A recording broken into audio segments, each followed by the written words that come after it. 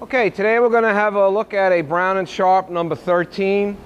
Uh, this is a um, universal uh, kind of a tool grinder and a cylindrical grinder all combined in one. Uh, has lots of different uh, operations it can perform. Uh, the wheel head goes up and down as well as uh, rotates. you've got a lot of taper adjustment on the table. You've got a swiveling headstock.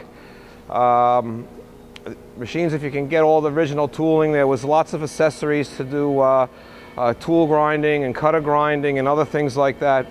But the machine we're offering here today has an ID attachment, which we're going to show you later, uh, how that gets attached on here. There's a few chucks. Uh, this has a collet system that you remove this and put the chuck on or a faceplate. Uh, there's several collets that come with the machine. Uh, it's in wonderful condition. I'm going to go ahead and start it up for you. It's 220 volts, three phase. That's the grinding wheel is on here right now. Uh, start the hydro uh, start the workhead, you pull the lever up here. You have four different speeds you can adjust here. Also there's four different, or you know, by changing the belt speeds on the headstock. Uh, me the mechanical movement here is just that, it's mechanical. If there's an electric motor with a lot of gearing, uh, you select your speeds over here. Machine gets lubricated, has a uh, pump built into the base. And you always know that it's working by looking in that window there and seeing the drips.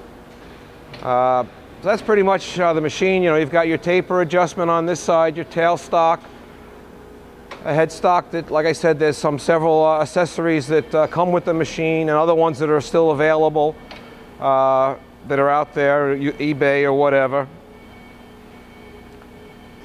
And that's pretty much it. We're going to shut it down now and we're going to come back in a little bit with it set up for uh, internal grinding. And to do that, we're going to have to take uh, the tailstock off and change the pulley arrangement a little bit. And you have to shift the motor over.